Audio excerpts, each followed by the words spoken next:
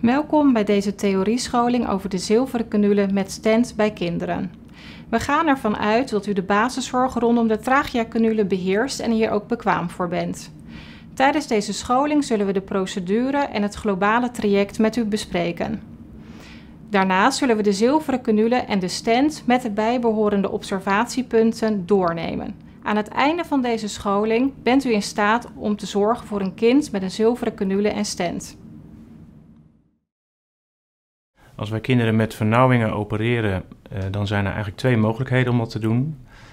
Uh, aan de ene kant kunnen we het vernauwde deel uh, verwijderen en de twee gezonde delen van de luchtpijp aan elkaar maken.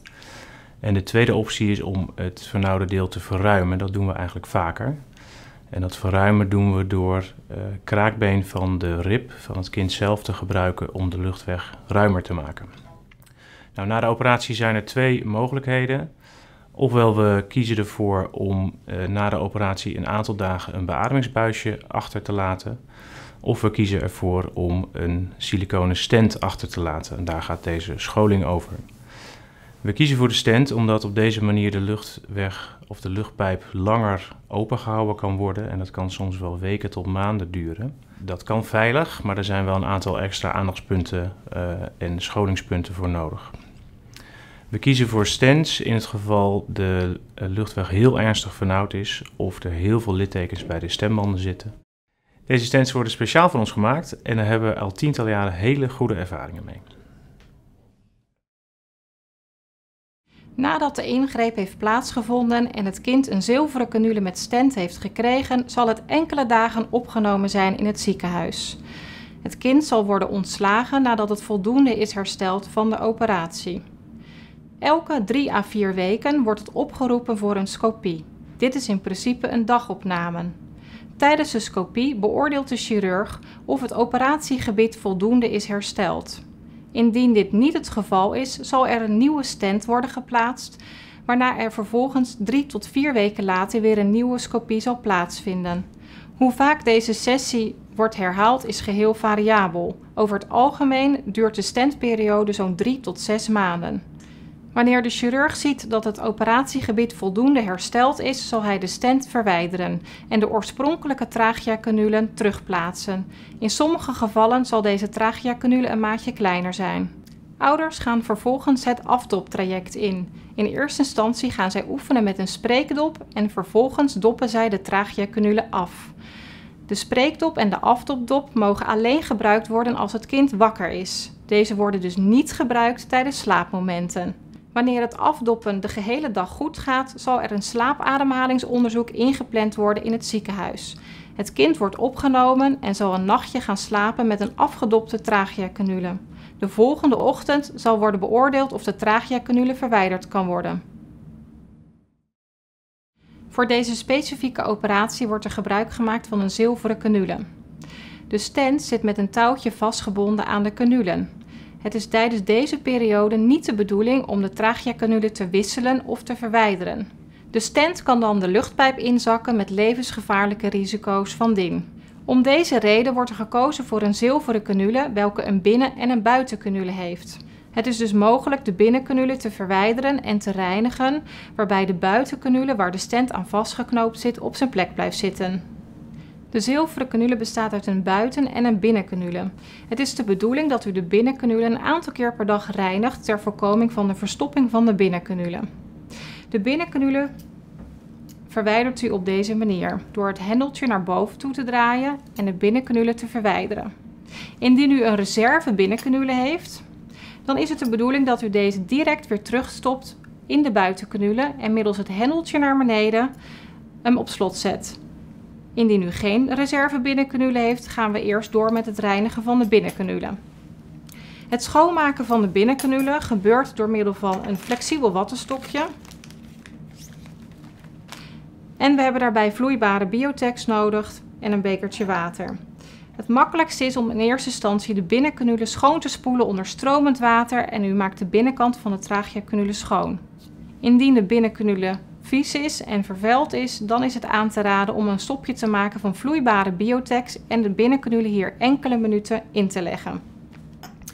Nadat het in het sopje heeft gelegen, spoelt u het af onder de kraan en laat u hem drogen. Indien u geen reservebinnencannule heeft, plaatst u hem via de buitencannule weer terug. De zilveren canule bestaat uit hard materiaal, zo ook het schild van de canule. Hierdoor kunnen er eerder drukplekken ontstaan rondom het tracheostoma. De handeling uitzuigen is niet anders dan dat u gewend bent. Houd er alleen rekening mee dat de uitzuigdiepte van de binnen- en de buitencanule anders is van elkaar. De buitencanule heeft geen opzetrand die de binnencanule wel heeft. Hierdoor zal u minder ver hoeven uit te zuigen via de buitencanule. Indien u ontdekt dat de binnencanule verstopt is, haalt u de binnencanule eruit en vervolgens maakt u de binnencanule schoon. In de tussentijd kan u uitzuigen via de buitencanule. Indien u een reserve binnencannule heeft, kunt u deze tegelijkertijd terugplaatsen. Als de buitencanule verstopt is, dit kan alleen wanneer de binnencanule niet aanwezig is, handelt u volgens de noodprocedure die u heeft aangeleerd. U trekt 2 ml NaCl 0,9% op en spuit dit krachtig in. Vervolgens brengt u de zuigzonde zuigend in. U mag deze procedure twee keer herhalen. Als de buitencanule verstopt blijft, moet u een noodwissel uitvoeren. Deze handeling zal later worden uitgelegd. Als een kind naar huis toe gaat met een zilveren canule met stent, worden er enkele onderdelen toegevoegd aan het noodpakket. Dit zal zijn een pincet, een rol leukoplast en een chirurgisch schaartje. Wat u hiermee moet doen, zal later in de scholing worden uitgelegd. Stent is een siliconen buisje. Aan de bovenkant komt er één draad uit, aan de onderkant twee draden. De stent wordt geplaatst boven de tracheacanule in de luchtpijp en loopt door tot achter in de keel. Via het smalle gedeelte wordt het door de neus naar buiten geleid en op de wang gefixeerd. De stent wordt geplaatst in het operatiegebied om te zorgen dat het goed kan herstellen en er geen zwelling ontstaat of littekenweefsel die een vernauwing kan veroorzaken. Het grootste risico van de stent is dat deze in de lucht weg kan zakken. Hierdoor kan het kind stikken. Zolang de tracheacanule op zijn plaats zit, zal dit nagenoeg onmogelijk zijn. De stent wordt op twee plaatsen gefixeerd. De draad die uit de neus komt, wordt op de wang vastgeplakt met leukoplast. Aan de onderkant worden de twee draden losjes om de buitencanule geknoopt en worden de draden via het stoma naar buiten geleid en vervolgens aan de halsplaat van de canule vastgeknoopt. Daar waar de stent uit de neus naar buiten komt, is geen schaalverdeling of markering zichtbaar. Indien u het prettig vindt, kunt u zelf met een markeerstift een markeringspunt aangeven. Als de fixatie op de wang heeft losgelaten, kijkt u of u de draad nog ziet zitten. Als deze zichtbaar is, plakt u de draad opnieuw vast met de leukoplast. Mocht u de draad niet meer zien zitten, dan kunt u kijken of u deze achter in de mond van uw kind wel ziet zitten. Indien u denkt dat het mogelijk is, probeert u met de bijgeleverde pincet uit het noodpakket de draad te pakken. Het is belangrijk dan op te letten dat uw kind niet gaat kokhalzen. Als hij dat wel doet, stopt u de handeling. Kunt u de draad naar buiten halen, dan plakt u hem vast op de wang en belt u het ziekenhuis. Ook als het niet lukt om de draad weer te pakken, neemt u contact op met het ziekenhuis. Het is belangrijk om in de gaten te houden of uw kind hierbij benauwd wordt. Indien er benauwdheidsverschijnselen zijn, belt u 112 en gaat u over tot de noodprocedure. Deze noodprocedure zal later worden uitgelegd. Als de knoopjes bij de halsplaat zijn losgeraakt en u ziet de draad nog zitten, probeert u deze opnieuw te knopen.